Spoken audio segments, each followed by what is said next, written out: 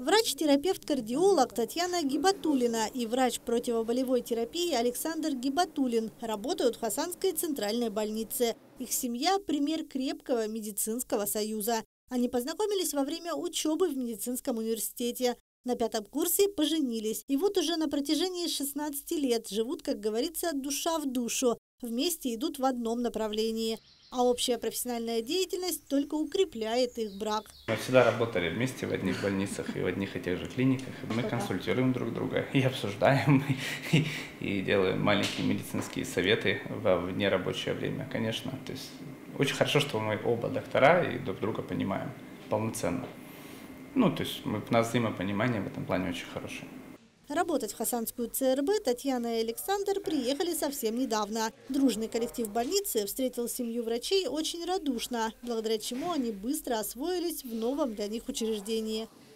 Атмосфера доброжелательная, коллектив хороший. Конечно, нагрузка на врачей большая, потому что э, неполный э, состав врачебный, э, но администрация над этим работает. Но те врачи, которые есть, они на самом деле врачи, и они любят свою профессию, они любят пациентов. Важен каждый человек, эм, что это не просто так, да, что он пришел там для галочки, а что э, о человеке заботятся, что о нем думают, что э, идет э, какое-то обсуждение, что и к тебе обращаются за советом, и ты можешь обратиться за советом. Александр Гибатулин работает врачом-терапевтом, принимает пациентов с острыми хроническими болевыми синдромами.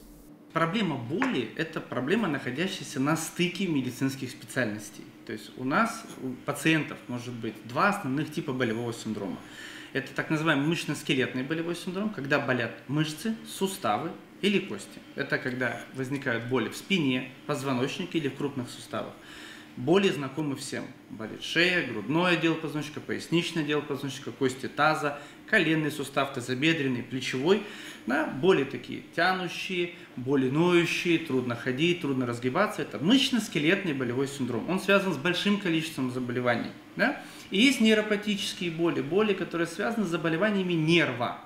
Все знают, да, что защемило седалищный нерв, стреляет в ногу, ногу жжет, поясницу да, поясницу там болит, нога не имеет, это нейропатические боли. Я занимаюсь комплексной терапией и того, и другого болевого синдрома. Несмотря на то, что Александр Гибатулин работает в Хасанской ЦРБ только месяц, прием у него расписан на несколько недель вперед. Александр Александрович очень опытный специалист, проходил стажировку в различных медицинских учреждениях, как в России, так и в Южной Корее и США. Он уверен, главное в лечении пациентов – это конечный результат. Моя задача – улучшить качество жизни человека, чтобы болевой синдром не мешал ему жить. Его нужно убрать, ослабить, контролировать настолько, насколько это возможно, чтобы человек жил свободно, не испытывая боли. Или боль была минимальной, контролируемой, чтобы она не мешала качеству жизни человека. Помочь пациенту и улучшить качество его жизни стремится и Татьяна Гибатулина. Она трудится в кабинете медицинской профилактики. К ней обращаются пациенты с хроническими неинфекционными заболеваниями. Татьяна Евгеньевна также замещает должность терапевта и кардиолога. Работать приходится много, но врач не жалуется. Такая у нее профессия – людям помогать. Да, для меня важно увидеть результат чтобы пациент это почувствовал, чтобы у него не было ощущения, что ну, действительно он пришел и сам не понял, зачем пришел, да, он должен почувствовать эффект. Ему действительно должно стать легче. А, ну и, соответственно, если я не могу этого дать, то я должна его отправить туда, а, где ему эту помощь предоставят. Да, для меня это важно.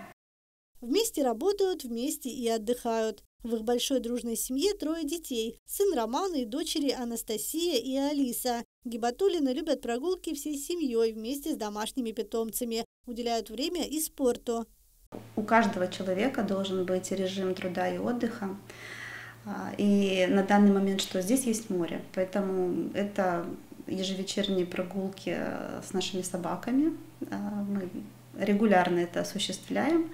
А, выходные дни это такие долгие прогулки, да, опять же, к морю мы ходим, а так мы очень активная семья, и мы любим горы, а, много где были, а, любим море и плаваем на сапах. Вот. Любим путешествовать вообще, в принципе. Одно из наших любимых мест – это Алтай.